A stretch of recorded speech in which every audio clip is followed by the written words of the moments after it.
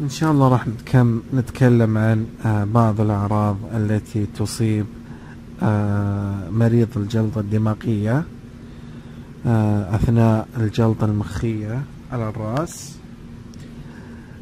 قد تحدث خدر أو ضعف أو شلل أو تخدير في الجسم في جانب واحد من الجسم أو الوجه. أيضا ممكن يصاب الشخص بشلل بشكل مفاجئ على جانب واحد من الجسم. أيضا ننصحك قم بمحاولة رفع كل ذراعيك فوق رأسك في الوقت نفسه. إذا بدأت يعني وحسيت أن أحد الذراعين آه، شفتها تهبط فقد يعني تكون آه، تمر أنت بالسكتة الدماغية. وبالمثل أيضا قد يعني يتدلى جانب من جوانب فمك عندما تحاول أن تبتسم. آه أيضا أن التليف آه أو التلف الذي يحدث في أحد جانبي الدماغ يؤثر على الحركة والإحساس في الجانب المقابل من الجسم حيث أن التلف في الجانب الأيمن من الدماغ يؤثر على الحركة والإحساس. وأيضا في الجانب الأيسر من الجسم والعكس صحيح قد يظهر على آه، يعني بشكل يعني آه، عكسي.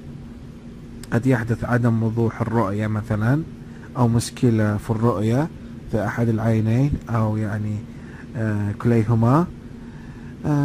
أو يحصل اسوداد بصورة مفاجئة. قد ترى أيضا الصورة آه، مزدوجة. أيضا ممكن تحس آه، بالصداع حاد مفاجئ والذي يعني يتم الشعور به آه، بشكل طبيعي في الأمراض العادية. أيضا صداع شديد غير مسبوق قوي جدا في بعض المناطق. مثل ضربة قوية على الرأس جاءت من حيث لا تدري. آه والذي أيضا آه بعض الأعراض التي قد تمر مثل الدوار وأيضا يشير إلى الإصابة بالسكتة الدماغية.